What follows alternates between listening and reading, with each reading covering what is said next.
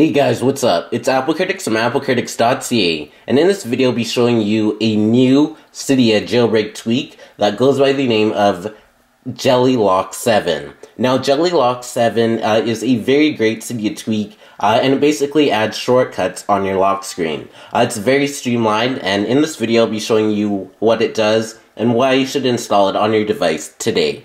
Uh, so once you go into setting and then into Jelly Lock right here, you can see that you can enable it right there. And then you have app shortcuts right here. So you're going to have five app shortcuts that you can choose. But I've already chosen my five. Uh, so you can choose any app on your device to be on your lock screen, uh, and you have five uh, options. Then you can see that you have a passcode right there, so you can either skip it or still have it.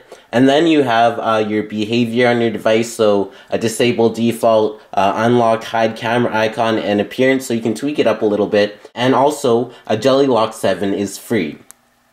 So if we test it out, you can see that you have a little circle right here. The camera icon is still there because I didn't want to hide it, but I'll still have quick and easy access to my camera. So if I hold the circle down right there, I'll have the camera right here, Cydia, messages, my mail, my music, uh, and a random game uh, that I'm playing called Llama Llama Duck.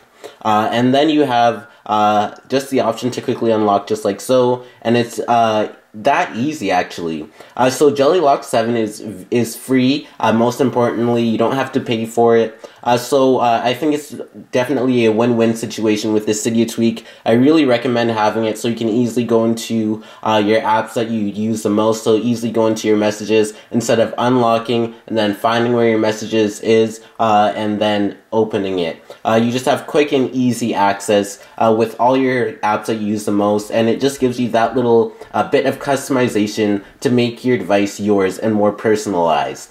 Uh, so thanks for watching this video on Jelly Lock 7. Please go ahead and check out the post down below on Jelly Lock 7 as it will give you my detailed opinions on it.